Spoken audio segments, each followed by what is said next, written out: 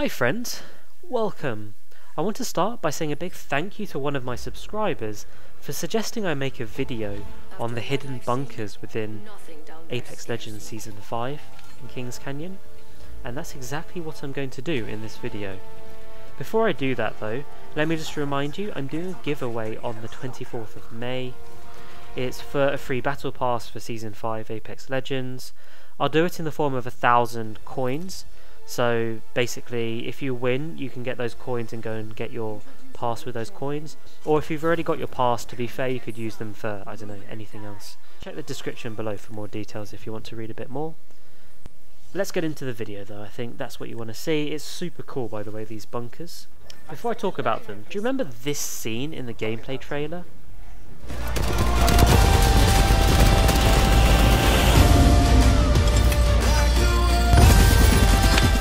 Yeah, so that bunker they jump into, I actually found it on the map after my subscriber alerted me to it. And it's between water treatment and Skull Town, and it turns out it's actually one of five bunkers. Well, at least I found four others. But if there are more that you found, let me know in the comments below, and I'll go check them out. But anyway, this one's the most interesting because you can actually get inside it. The others, I found you can't actually get inside. Um, not quite sure why yet. I'll give you some theories at the end, but let me talk you through these bunkers first. So, it turns out there's two hatches. One is a large hatch, which when you go over to it, it actually says locked. Um, not quite sure what that means, but I'll give you some thoughts in the theories at the end. There's also a smaller hatch. Now this smaller hatch is the one that opens. So once you go into it, and you will need to get into it because it's locked when you first go there, then ultimately when it opens up you can use a zip line to get in and out which um, will be there. To be able to get in though and open that hatch you need to find a way to get under into the bunker. Uh, there's a few ways to do it. Obviously if you're flying in from that direction right at the start then you can just fly straight in there as part of your landing. The other option is to use the zip uh, tower or jump tower as it's called and just fly across from where Skulltown used to be, straight into the bunker. The final option is actually you could just land anywhere and go towards the edge of the map near where water treatment and Skull or Old Skulltown used to be. And I use this black pole thing as a marker. If you go to the edge there, you can actually just jump down. More just sort of walk off the edge. Don't literally jump because it's not that elongated so if you jump too far you're going to end up falling off the map and die. So don't do that. But yeah you can just drop down as, as you can see from how I found out as well. So that's a neat way to get into the bunker. Now when you get into the bunker it's cool. There's some loot there. You can see different parts around the bunker there's also a charge tower there so you can charge for your ultimate there's also it seems every time I've been there there's always a level 4 knockdown shield, which is the res shield, obviously, which is always hidden in that room there, which you go to at the end of the bunker. You have to go through the doors, and it's normally just there in the corner on the left. So that's a nice little bit of loot you can always pick up there, pretty much.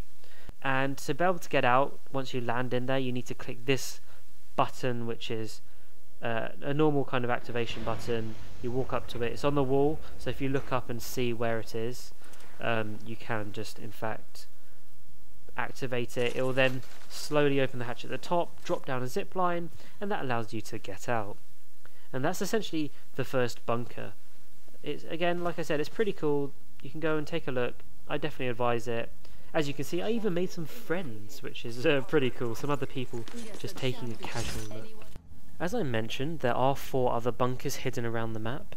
There's one behind markets, there's one between capacitor and artillery.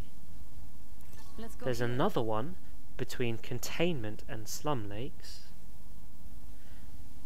And there's one on the other side of slum lakes.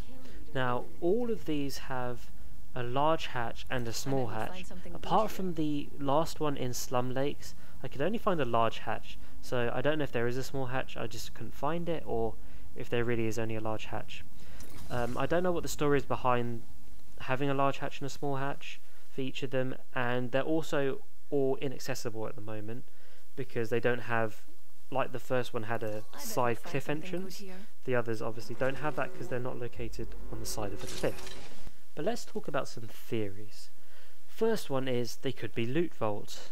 So like in World's Edge, where you get those loot vaults with epic loots, if you find a key for them, they, it could well be that you have to find the key, and that's maybe why it says locked. You get the key, you can unlock it, and go and get some amazing loot in there. That's one theory. I'm not sure if that's likely. I personally don't think they're loot vaults, um, but they might be.